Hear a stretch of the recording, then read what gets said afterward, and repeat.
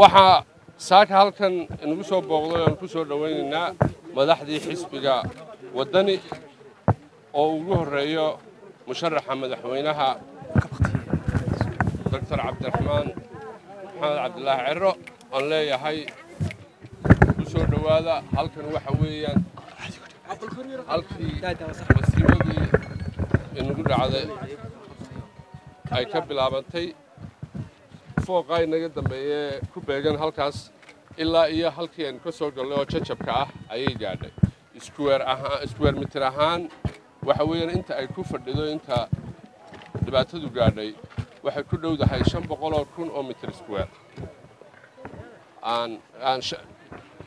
afar iyo afartan kun oo raalli ahaada afar iyo afartan kun oo mitir iskuweer fiid ahaan marka loo bedelo ayay ka sii badanaysaa waxaynu hadda taagannahayna waxa weeyaan xaruntii dawladda intan aynu ag taagan oo dhan ilaa wareegan oo dhan waxa weeyaan intii dawladda hoose lahayd oo dadkuna degganaayeen waxaa ku wareegsan intaa in la eg oo ay shicibku dhisteen oo ay leeyihiin oo iyagana dhibaato badan soo gaadhay. Ilaa hadda lama kala nadiifin oo waxaanu u daynay in dadku ay wixii hantiya kaga sii hadhay ay ka helayaan baaqi haddii wax meelaha laga helo sida khasnadaha dokumentka waxa inay ka urursadaan waxaana la siiyey ilaa axadda soo socota haddii ilaaha idhaahdo wixii ka dambeeya axadda nadiifintii baa bilaabmaysa. Waxaa kaloo iyaduna dhinac socota oy dawladda hoose waddaa nashqadayntii iyo sarfeyinkii oo injineeradii dawladda hoose ay gacanta ku hayaanoo socota.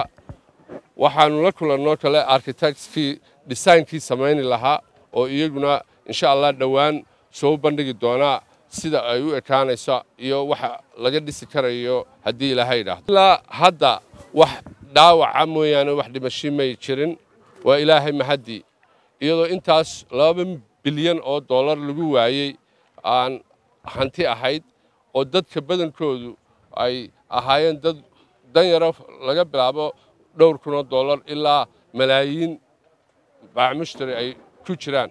Waxaana hadda socota registrationkii ama diiwaangelintii dadkii oo loo kala qaybiyey shan qaybood. Khudradleydii hilibleydii bacadyaalkii bacadlihii bakhaaradii waaweynaa iyo jumladleydii intaasiba waxa bilaabatay shalay tamaahe doraad registrationkii waxaanay soo gebagabaynayaan insha allah ilaa rito oo jimco ah oo kadibna xogta rasmiga ah ee dadkii deganaa halkan iyo nambarka ahaayeenba waxaa lagu qiyaasaa soddon kun ilaa lix iyo soddon kun oo qof inay ka shaqaynayeen waaheen suuqa waaheen.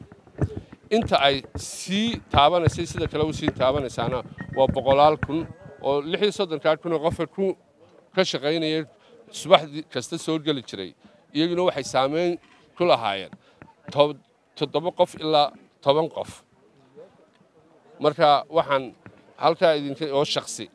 Marka waxaa idin tusaynaa in suuqa waaheen uu taabanayo reer somalilan oo dhan meel kastoo ay joogaan ilaa soomaaliya ilaa kelinka ilaa jabuuti oo dadkii baacamushtarka ahaa ee ku xidhnaa suuqani ay noo imanayaan oo ay ka kala imanayaan intay soomaali degan tahay oo dhan. Aan ahaynuun hargeyso qura ay taabanayso meel kastaba.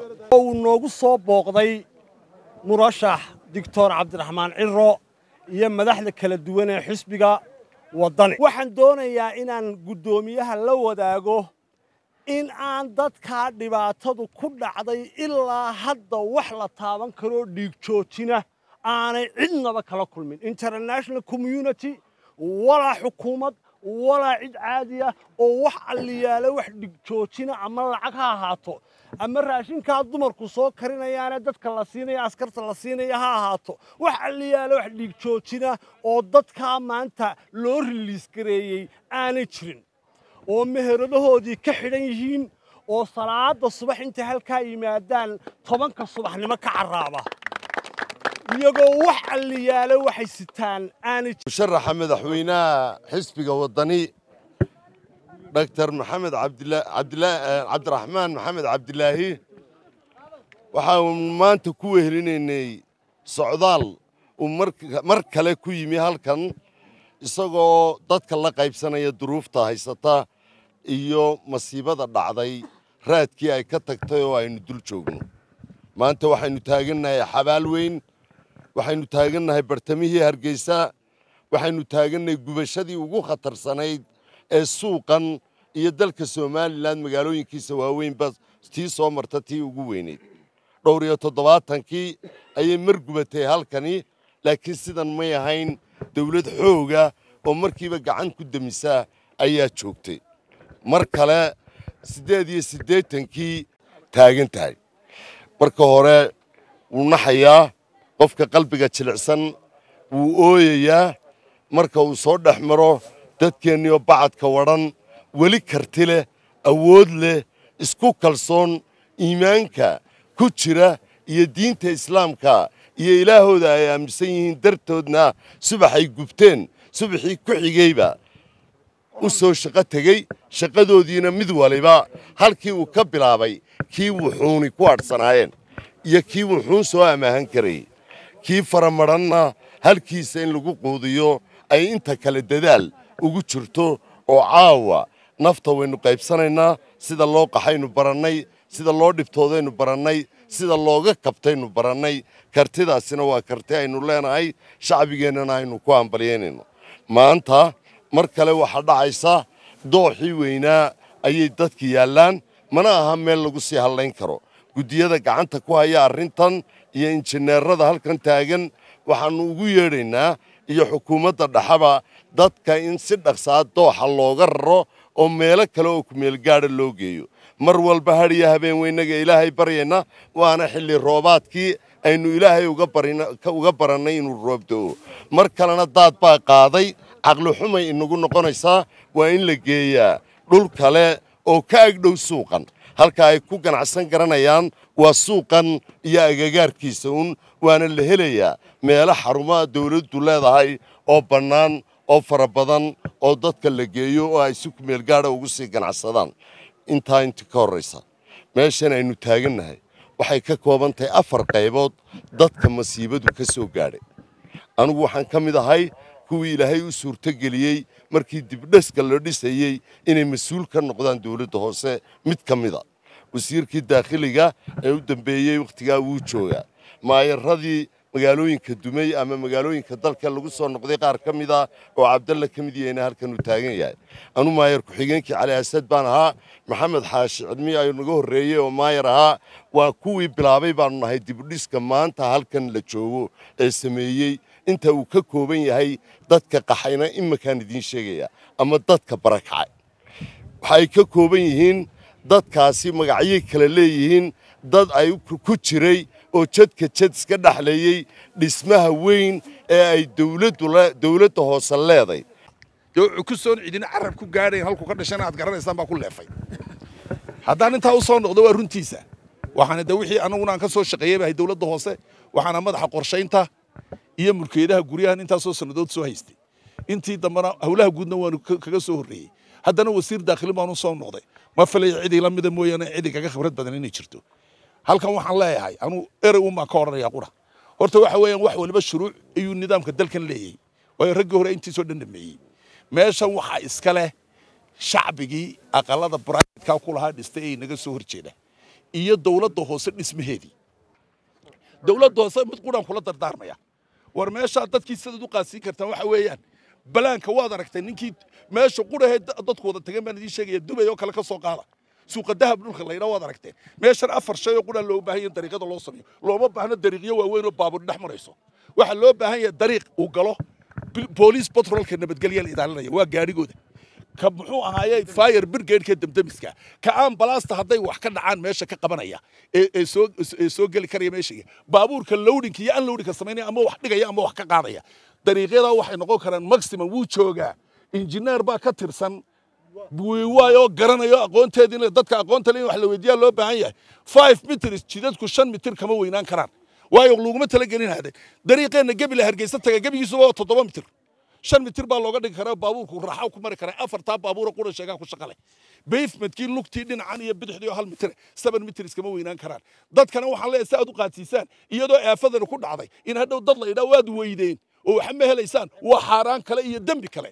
Loo kala gabarmankaana dembigaa yeelanaya iyo maayarkeeyaanay ka gabanin sharciga iyo shaqaday leeyihiin. Waa in aqalada saddex saddex iyo afar afar intay isu qaadi karayaan isu saaraan intii local governmentku lahaa oy banaan wanaagsan u soo sameeyaan.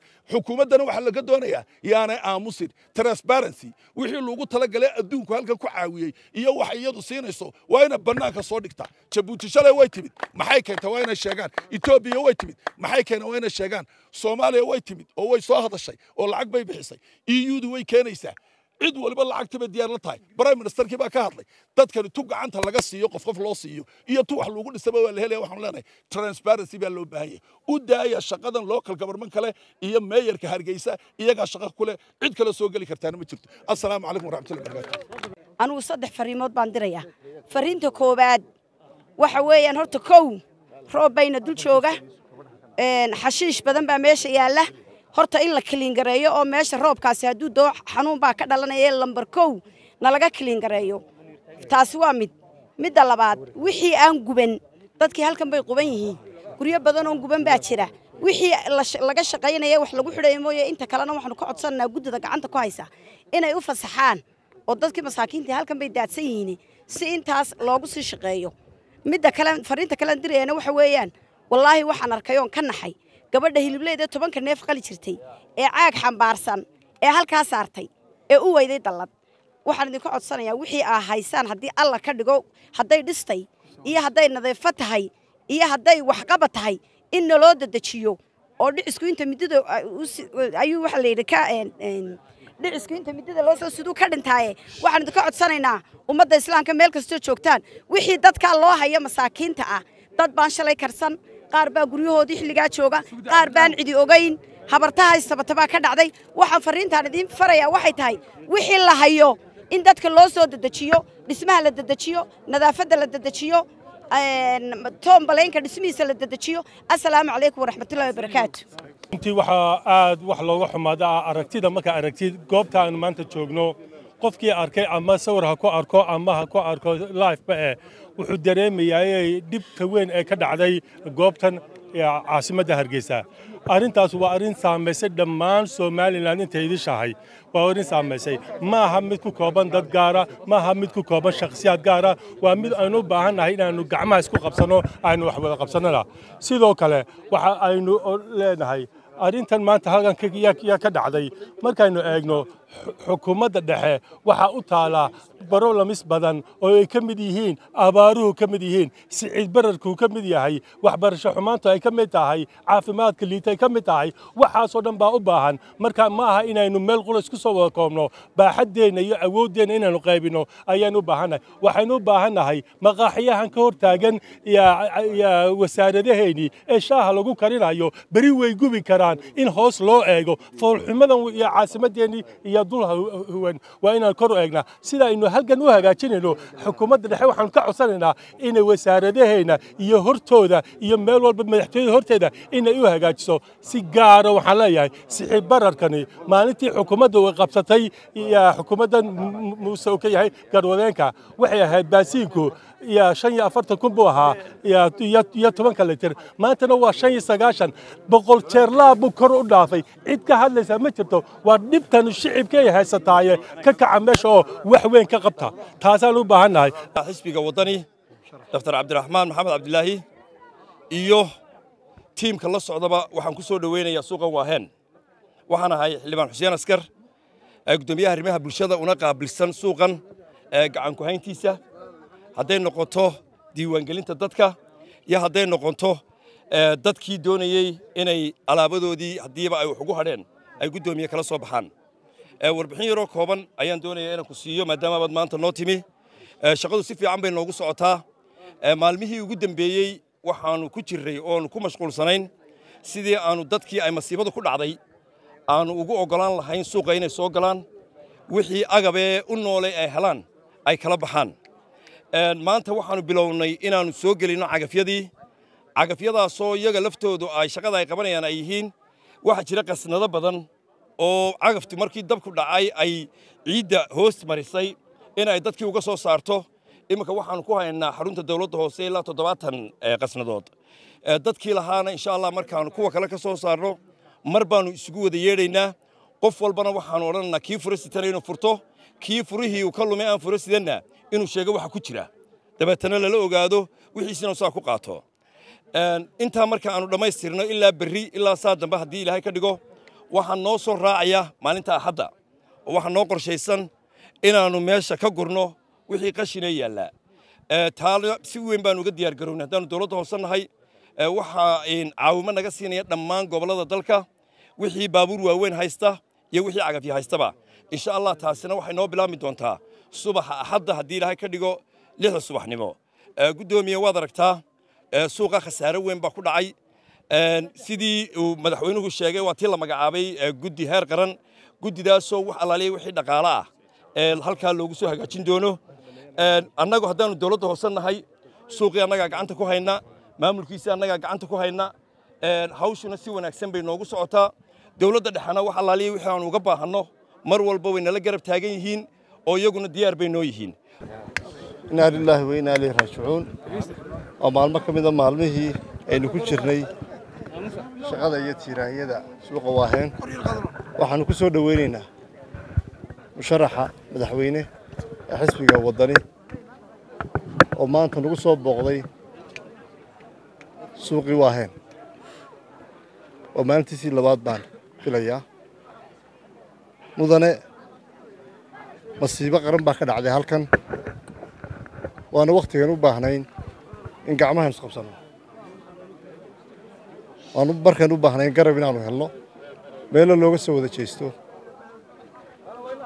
Dowlad hoose ahaan haddaannu nahay. Dhibaatada gaadhay dadka yaga iyo bilicdii magaaladayda waxaa noo dheer. In dhaqaalaha iyagii boqolkiiba afartan maalinlaha ahaa uu hoos u dhacay waa masiibo dhinacyo badan taabatay masiibadan nagu dhacday. Waxaynu kaga bixi karnaa inay tahay innagoo iswada barbar istaagna dhammaan. Keli baannu dareemaynay maalmihii la soo dhaafay oo maayar mooge iyo madaxweyne muuse biixi ayuunbaannu garbahayaga ka arkaynay maanta inaannu helnay madaxdii dalku nagu soo biireen. Waa waxaannu aad ugu farxayno aanu soo dhoweynayno wada jir ayaanu kaga bixi karnaa hawshan. Aad iyo aadna waad u mahadsan tihiin asalaamu calaykum waraxmatullahi wabarakaatu waxaan salaamayaa si gaara u salaamayaa golaha deegaanka ee caasimadda hargeysa oo xubno fara badani. Ay halkan aanu isugu nimi oo inala joogaan. Waxaan uga mahadnaqaynaa warbixinihii ayna siiyeen anuu hadalkaygii shalay baan idhi. Hadalkii maanta ku munaasabka ahaana madaxdii xisbiga ee iga horreysay baa yidhi. Madaxdii xisbiga ee hadashay ayaa si wanaagsan u yidhi. Laba arrimoodoo madaxdu tidhi baan doonaya inaan ayido mid marka hore ilahay waxaanu ka baryaynaa horta inuu madar khayr qabayna siiyo. Oo abaartii weli inagamay jabine oo ilaahay inoo soo dedejiyo roob aan waxbayna yeelin dad iyo dunyo midna. Haddaynu ilaahay gacmaha kor ugu taagay inuu roob ka baryayno iyo dadkii wadhnaa aan ku soo marray dixda hargeysa. Waxay leedahay werwer kale oo khasaarihii halkan ka dhacay. Khasaare kale inuu inoogu darsamo. Si aynu uga badbaadno in dadka halkaa xildhibaanadu ay isu xil saaraan in laga raro oo halkan haddii la nadiifiyo xitaa waa la dejin karaaye. Inta wax laga dhisayo la dejiyo. Arrintaana la dedejiyo. Roobku gooru iman doono. Ma ogin imaka saacad kadib inuu iman doono inuu mar dhow iman doono. Arrinta labaadna waxa weeye had iyo jeer dadka qaar ka ganacsadaa waxaa laga yaabaa marka arrini dhacdee dee ama ay yaraadaan waxba la waayo. In wixii ay gacanta ku hayeen ay qaaligareeyaan. Bishii rabadaana waynu ku jirnaa ganacsatada kale xoolahoodu badbaaday waxaanu leenahay ilaahay ha idiin barakeeye ha iska xaaraantinimin oo wixii halkan marka laga waayo inaad saddex jeer ka dhigtaan saddex jeer qaaligaraysaan looma baahna barakadu sidaasay ku jirtaa xildhibaanada golaha deegaanka waxaanu ku boorinaynaa shaqada ay hayaan waxaanu ka codsanaynaa inay dedejiyaan halka nadaafadeeda iyo nadaafadeeda waxaa kaloo ka codsanaynaa mar labaad ku celinayaa dadka rabadaanta shaqaysan jiray ee masaakiinta ah in iyagana dixdana laga soo raro. Kii aan meel haysanna meel la keeno. Halkanna haddii la nadiifiyo ku sii ganacsan karaana si kumeel gaadha loogu ogolaado haddaan meel kale de lahayn maanta. Waxaan mar kale ugu baaqayaa dunida iyo shacbiga reer somalilandba waxaanu imika dhinac walba naga xiga dabkii dhibaatadii u geystay haddaad bari eegto haddaad galbeed eegto haddaad waqooyi eegto waanu dhex taagannahay waxaanu leenahay qof kasta wuxuu karayo ee reer somalilandi ha geysto weliba bil rabadaan hadduu dibad joogo iyo hadduu guda joogo beesha caalamkana waxaanu leenahay waxaa ugu tala gasheen ama bixinaysaan ha la soo dedejiyo dalalka jaarka iyo ciddii waxayna siisayba aad iyo aad baan ugu mahadnaqaynaa. Qof kastoo ama ganacsade ha noqdo ama muwaadin caadi ha noqdee qofkii shilin bixiyeyna ilaahay u barakeeyo. Abaalnaa ka siiyo. Aad iyo aad ba umahadsan tihiin waxaanu annagu hogaanka xisbiga ku wareejin doonaa deeqdii koobnadeenu sidnay insha allahu mas'uuliyiinta halkan joogta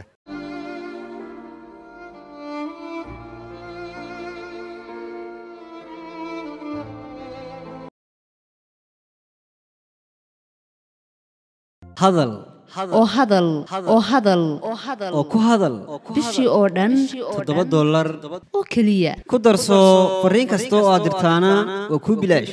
Haddaba si aad ugu shubato adeega kaafiye fadlan garaac xidig siddeed eber siddeed afargees ama xidig laba eber laba afargees isticmaal shabakadda ugu ballaadhan geeyiga somalilan